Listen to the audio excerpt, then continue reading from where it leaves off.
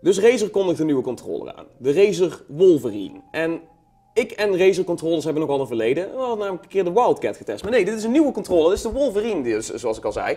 En ja, je ziet het al, het is een RGB-controller. En dat bracht mij meteen een beetje van stuk toen ik deze onthuld zag worden. Want ik dacht, Razer en die Wildcat die we een tijd terug hadden, hmm, hmm, dat ding kostte 150 euro. Net zoveel als een Xbox Elite controller. Je moest zelf je eigen rubberen grippads erop plakken. Het waren letterlijk stickers. Er was een heleboel niet echt fraai in die controller. Hij ging ook nog eens een keer kapot. Daarover hebben we verder niet meer gesproken. Dus we hadden zoiets van, Razer controllers, uh, we wachten het even af. Toen kwamen ze een tijdje terug met de Raiju. Helemaal prima. Een soort vanzelfde model, maar dan voor de PlayStation 4. Die werd beter ontvangen. En nu komt de Wolverine. En wat vernieuwen ze? RGB. we gaan hem unboxen, we zullen hem binnenkort ook uitgebreid gaan reviewen. Maar um, toch is het wel interessant, want ik moest natuurlijk een beetje lachen toen ik dacht, oh ja tuurlijk, Razer maakt een controller, 180 euro moet ik er even aan toevoegen. Dus ja, het is misschien wel een van de duurste controllers die je op het moment kan krijgen. En zelfs duurder dan een Xbox Elite controller. Het is natuurlijk een Xbox One en Windows 10 controller.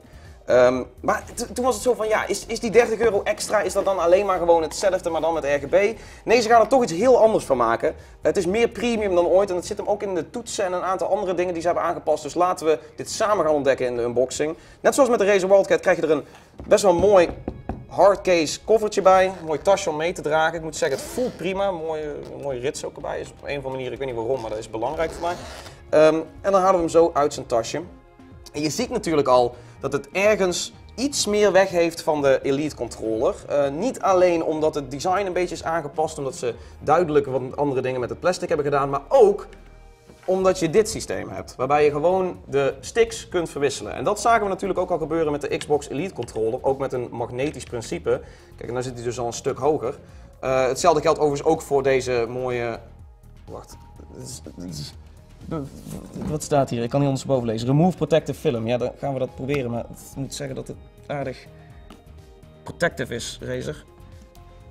Ja, there we go. Oké, de protective film is geremoved bij deze. Um, en dan zie je dus ook dat dit dus ook los kan komen, net als met de Xbox Elite controller. En dat dat dan magnetisch zo weer bevestigd kan worden.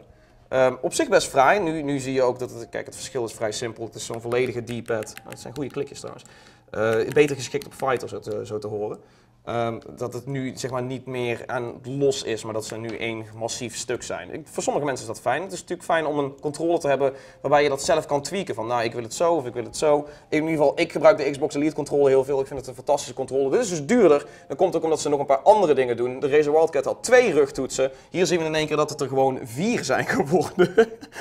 uh, wel weer met een beetje de wat muisachtige klik. Het echt letterlijke klikje wat de Wildcat had, de hype response triggers, dat hebben ze nu niet meer. Het is nu een iets holler klikje. Uh, maar we zien ook bijvoorbeeld wel weer hier die iets meer die muisklik op terugkomen. En deze twee uh, M-toetsen, macro-toetsen, inmiddels zijn het er nu dus zes.